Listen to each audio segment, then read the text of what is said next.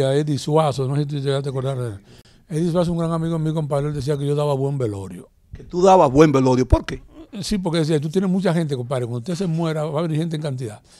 Y yo no he tenido que esperar el velorio para darme cuenta cuánto la gente me quiere y me aprecia.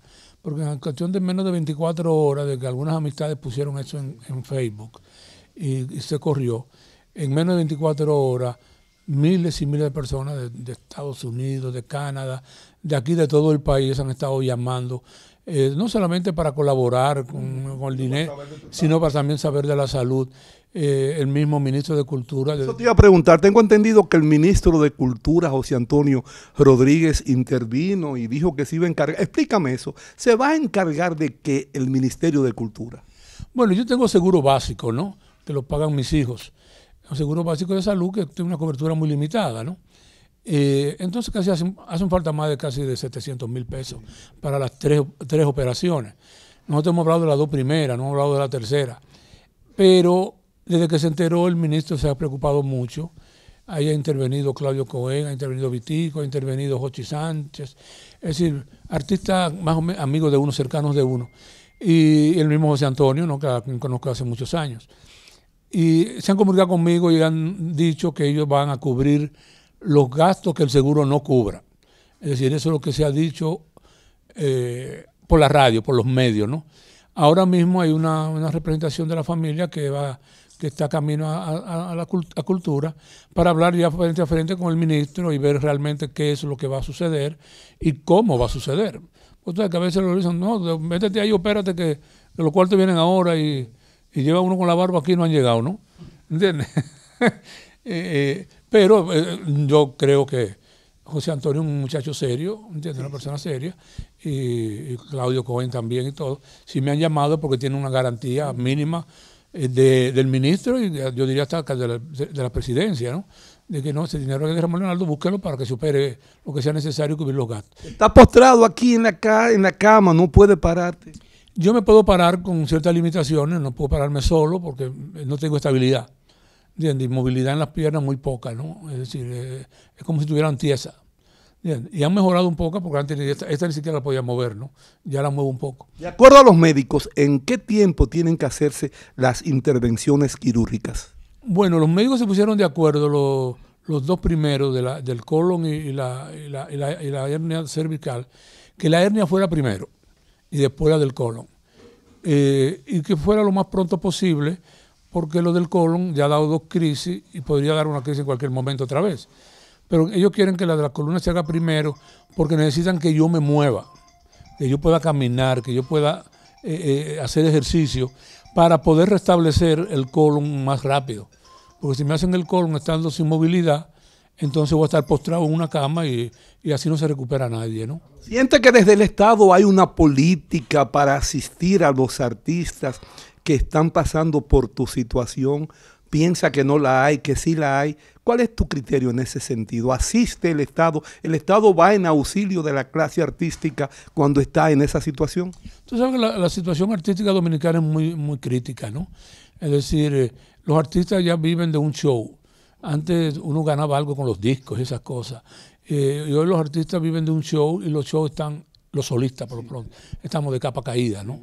de la época de oro de la balada fue la época de, Bienvenido Rodríguez, con Sonia, Fausto, Ramón Leonardo, Camboya Esteves, esos, esos solistas. Pero ahora las orquestas y el reggaetón y el rapeo es lo que, lo que mueve, ¿no? Pero creo que desde el Estado hay muchos artistas que yo lo he visto envejecer y morir postrado en una cama sin el más mínimo auxilio.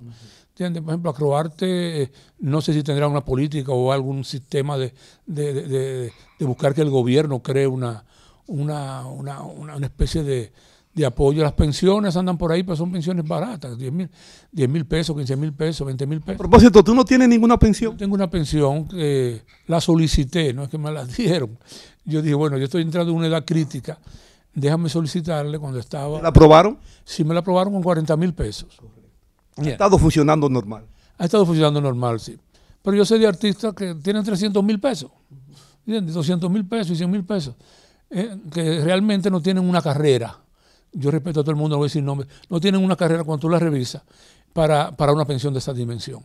Mientras que hay otros que andan por ahí, que han pasado trabajo y que han muerto en el olvido, que si han cogido una pensión ha sido de 15 mil pesos, 20 mil pesos. ¿Siente que ha habido un respaldo, algún agradecimiento del pueblo, algún agradecimiento al ministro de Cultura en particular? Bueno, de, de, de los Twitter que yo he recibido, he podido leer aquí, lo que más hago aquí es leer Twitter y Facebook, esas cosas, porque como no puedo caminar mucho. Pero los Twitter que yo he podido ver, la, la gran mayoría de los Twitter son alegrándose de que el, el Ministerio de Cultura haya decidido resolver el problema mío. Eso, eso, eso lo han dicho todos.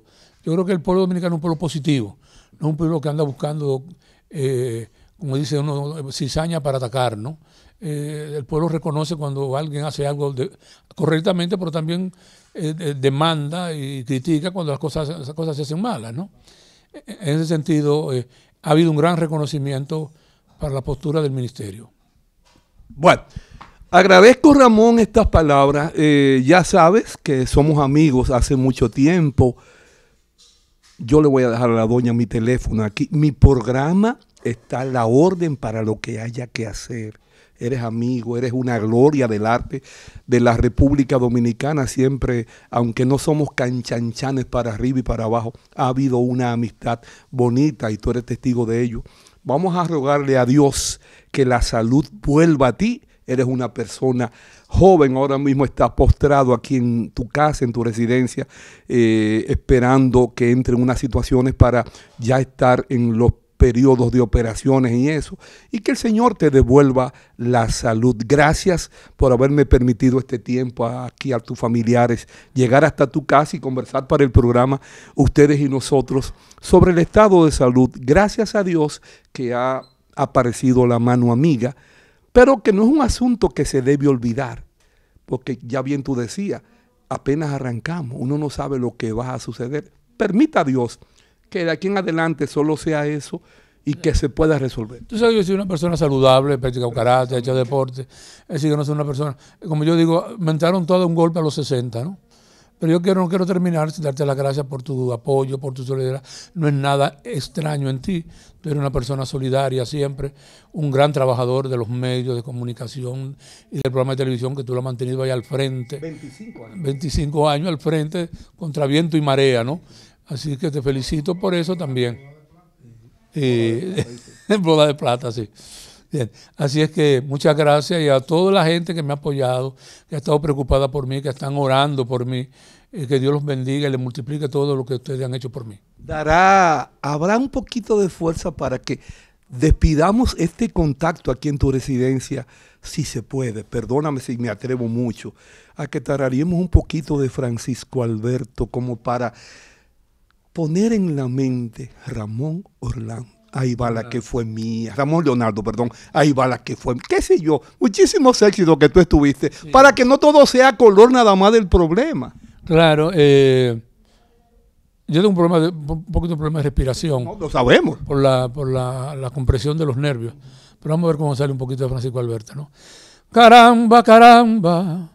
Francisco Alberto, caramba. Mi comandante te hiciste te hiciste el muerto en la sierra, te lo creyeron, qué bueno, Francisco Alberto, caramba. Déjalo ahí, Ramón, ya, ya.